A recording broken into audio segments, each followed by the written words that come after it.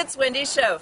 I'm at the BOK Ranch here in Redwood City, California, and I'm here to introduce you to Leslie Haas, a member of the board of the ranch, who's going to tell us about the 27th annual Western Day.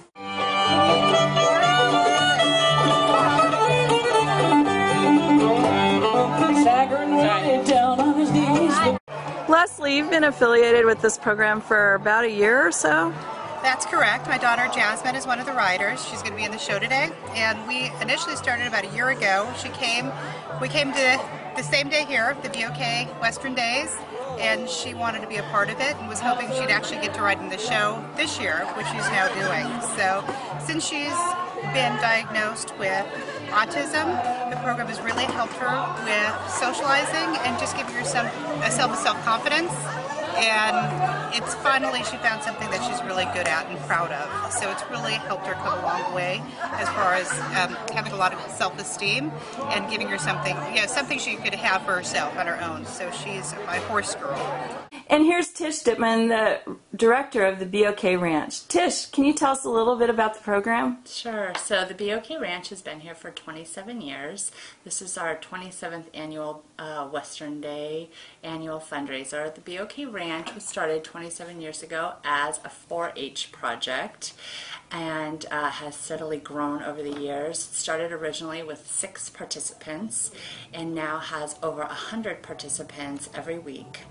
Um, our youngest rider is four years old, and our eldest rider is in her mid 80s. Wow. Um, the riders come to the program once a week for an hour group riding lesson or a 30 minute private lesson. And um, since the program has grown, we have moved to hopefully our last location um, at the horse park at Woodside. So it's a 300 acre facility. So hopefully we won't outgrow that anytime soon. So Leslie, can you tell us a little bit about today's celebration and fundraiser? Certainly. We have a lot of activities going on today. The Redwood City Fire Department is helping and assist with the barbecue.